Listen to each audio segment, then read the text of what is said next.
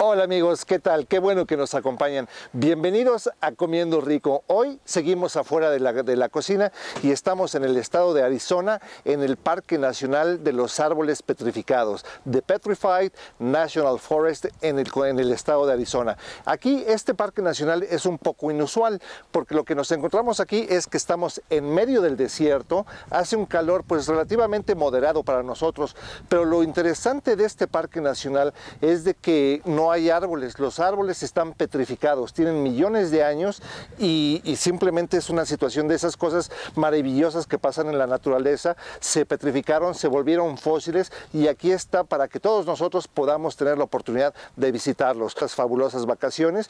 Y esta es pues nuestro cuarto, nuestra cuarta parada en el camino de, desde California hasta San Antonio, ya llegamos a Las Vegas, ya llegamos a donde estuvimos, en el Gran Cañón del Colorado, por supuesto, y ahorita seguimos aquí en Arizona, en el Petrified National Park Forest. Entonces los vamos a invitar a que vengan con nosotros aquí al museo que tienen y después vamos a una vueltecita así relativamente rápida para que continuemos en nuestro camino hacia Nuevo México. Acompáñenos. Bueno amigos, ya estamos aquí adentro de este pequeño museo en el, en el uh, Parque Nacional de los Árboles Petrificados.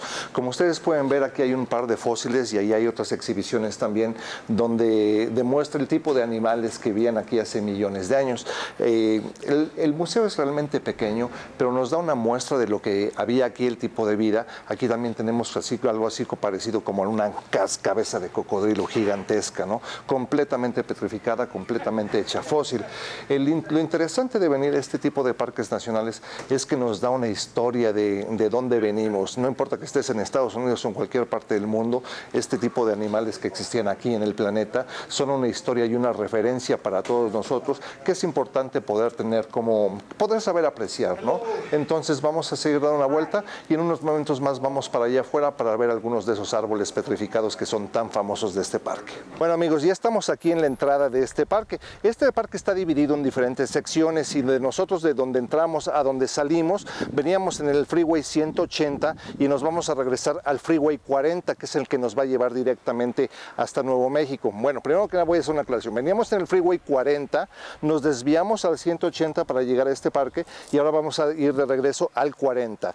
En esta trayectoria, como lo estamos cruzando paralelamente, de donde entramos a donde vamos a salir van a ser aproximadamente 18 millas y en este transcurso, en este transcurso vamos a tener diferentes secciones donde podemos entrar al Parque Nacional. Entonces lo interesante de esta parte para nosotros, yo que nunca había tenido la experiencia de venir a ver esto, pero lo había visto en el National Geographic, Discovery Channel y situaciones así, de, sabía de la existencia de este parque. Interesantemente, estos árboles están completamente petrificados, como lo dice su nombre, parecen piedras y, pues son una riqueza natural, algo que vale la pena verlo. Yo no, no, no puedo explicar el origen o por qué sucedió esto, tengo que leer un poco de la literatura que pasa que tienen aquí uh, disponible en el parque, pero pues queríamos compartir esta parte con ustedes. Fuera de este paisaje, ¿por qué no le pasamos el paisaje a la gente acá?